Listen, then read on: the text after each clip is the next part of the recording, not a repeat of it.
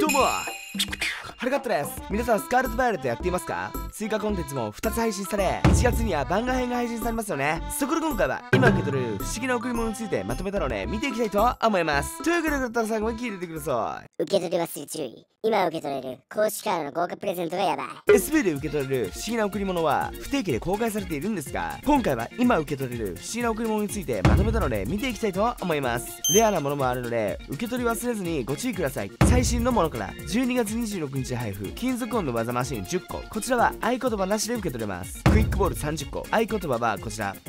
達人の帯。合言葉はこちら。そしてこの前のアニポケ5から受け取れるようになったテラスタルキャップ着せ替えで使える帽子です。合言葉はこちら。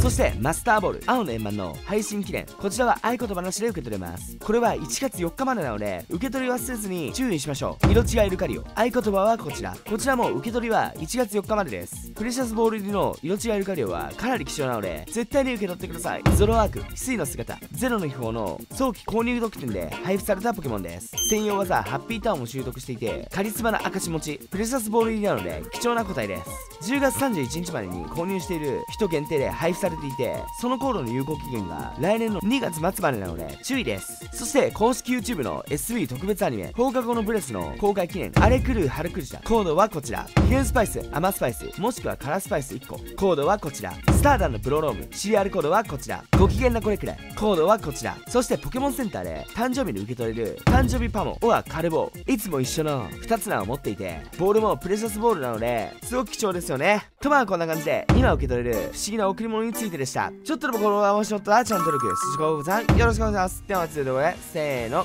グッディー。